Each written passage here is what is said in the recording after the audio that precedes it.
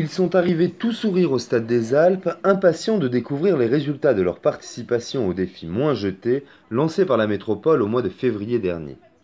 Et pour cause, alors qu'ils avaient pour objectif de réduire d'au moins 7% leur production de déchets en l'espace de 4 mois, les 145 habitants de l'agglomération qui se sont prêtés au jeu de la chasse aux ordures ménagères sont parvenus à une réduction moyenne de leurs déchets de près de 45%.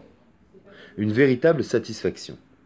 La première chose qu'on s'est dit avec toute l'équipe des Violettes, c'est comment va-t-on faire pour réduire nos déchets alors qu'on avait déjà l'impression de faire déjà quelques efforts euh, sur pas mal de petites choses. Euh, quand c'est proposé l'occasion de commencer le compost, ben, j'ai foncé. Et puis du coup, c'est vrai qu'on a baissé énormément nos déchets avec ça. Je trouve qu'on a été bien guidé et que ce qui est intéressant avec la métro, c'est qu'on n'est pas culpabilisé par les mauvais gestes qu'on faisait auparavant et que du coup, on est motivé.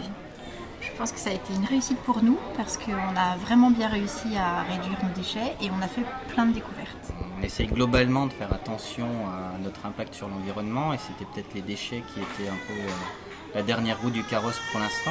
Alors on a appris à faire nos produits ménagers nous-mêmes. Benoît a suivi une formation euh, de compostage partagé. Et puis on a aussi réussi à faire que nos enfants euh, participent à la réduction des déchets. Des résultats qui s'expliquent notamment par la relative facilité des dispositifs à mettre en place pour réduire ces déchets, comme l'explique Cécile Polch de Combray, chargée de la prévention des déchets à la métropole. D'excellents résultats euh, qui sont le fruit de leurs euh, efforts, de leur inventivité et de la mise en place de gestes qui finalement sont très simples d'après ce qu'ils nous disent eux-mêmes. Le, geste qui fonctionne le mieux, hein, c'est le compostage. Et ils viennent derrière euh, l'application du stop pub pour ceux qui ne l'avaient pas encore et la lutte contre le tout gaspillage, que ce soit de l'emballage ou du gaspillage alimentaire. Pour la métropole, ces résultats inattendus permettent de crédibiliser et de renforcer l'action de son programme de prévention des déchets qui vise à réduire de 7% la production d'ordures ménagères dans l'agglomération d'ici 2017, soit 22 kg par habitant et par an. Ces opérations, elles ont l'énorme avantage de crédibiliser les gestes et de les valoriser.